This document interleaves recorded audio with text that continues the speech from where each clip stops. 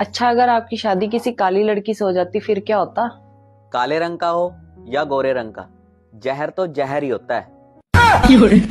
ज़ोर का झटका जोरों से लग